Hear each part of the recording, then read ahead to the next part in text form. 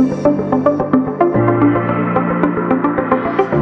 everyone, welcome from Acumen Accounting. As we all know, there are too many digital scams going around. Um, as an accountant, we have received a number of calls from our clients. They are telling us they have received a call uh, from a HMRC asking them to pay their tax bill right now on the phone. Otherwise, there is arrest warrants has been issued. So the police will come and arrest you and uh, lock you up if you don't pay the bills over the phone. Um, they are calling from um, a kind of a code or something. Uh, but please remember, these are all scam. Tax office never ever um, do these type of things. They never call you and ask you to pay just now straight away. Um, they normally send you the letters. The number of reminders come through. You can simply go online and pay your bills. Um, we strongly recommend if these type of the phone, you can just hang up and call the HMRC on their official line.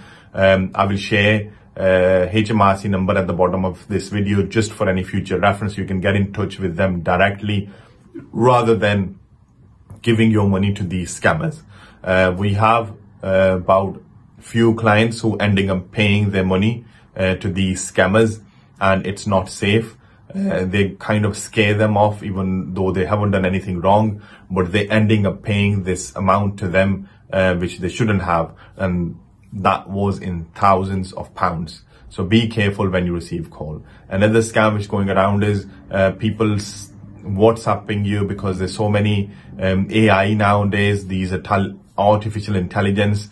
Um, people saying, oh, for example, one of the vulnerable ladies, she received a message from her daughter saying, my phone is broken up. Can you please, uh, you know, send me the money, um, kind of thing. And that was not her daughter. It's basically somebody else. So please, um, try not to just do these things. Try to get in touch with that real person in reality rather than just listening to them and transferring, transferring the funds without, um, you know, speaking to anybody else. If that type of things comes up, I would strongly advise speak to the bank or just go to the branch and say, look, you know, this is the thing. If you are in an age where you think you are not digitally literate, um, just speak to somebody uh, who can help you. Just simply walk into the bank.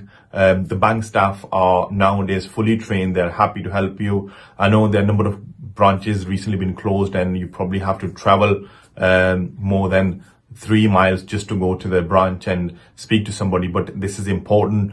Just don't just kind of um, go on to these phone calls and listen to them, and they're probably ending up taking your all the funds. So these are digital scams are now happening nowadays very regularly. Uh, especially the tax office one I've just mentioned, and there's somebody who pretending to be your relative uh, who are who need money desperately and ask you to pay that. So uh, just kind of you know put some securities in place.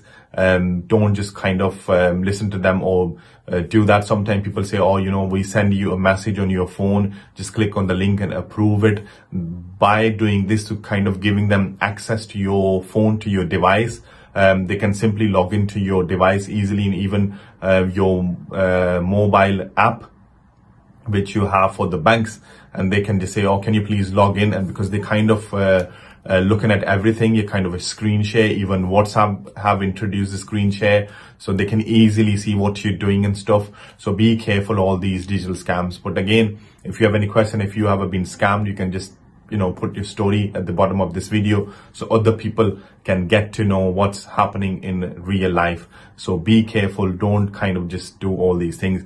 But any question anything you can talk to us. You can leave a comment at the bottom of this video.